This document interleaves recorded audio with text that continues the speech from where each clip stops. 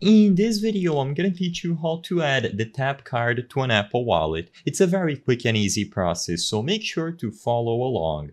Managing your tap card through a digital wallet, specifically the Apple Wallet, is extremely simple. You will be able to add the card into the wallet itself, through the actual wallet app or the latest version of the Tap Card mobile app that you can find on the App Store. Regardless of which option you pick, you will be able to see your balance and top it up at any time directly through the Apple Wallet using a variety of payment methods. So first, if you want to do this process through the latest version of the Tap Card mobile app, all that you have to do is go into the Cards tab, tap the plus sign at the top left corner of the screen, and make sure that the card that you want to add to the Apple Wallet properly appears on this window after you sign into your account.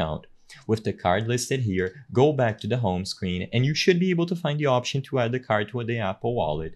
I recommend that you try this step first because by tapping this option, you will be immediately redirected into the Apple Wallet with all the details about the card automatically filled out and ready to go.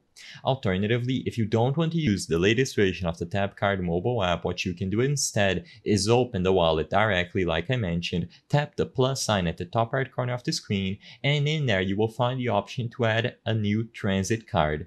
Choose transit cards and find the option to select the tap card from the list of regions. As long as you can find the tap card under the list of regions, you will be able to have it linked to the Apple Wallet. Just like the other method, you will be able to see the balance attributed to this card, add more balance balances necessary, and as long as you have NFC enabled on your device's settings and the card is properly linked to your Apple Wallet with enough balance, you can place your phone near the card reader to start paying for fares or rides. Just make sure that you have the balance ready to use inside of your Apple Wallet.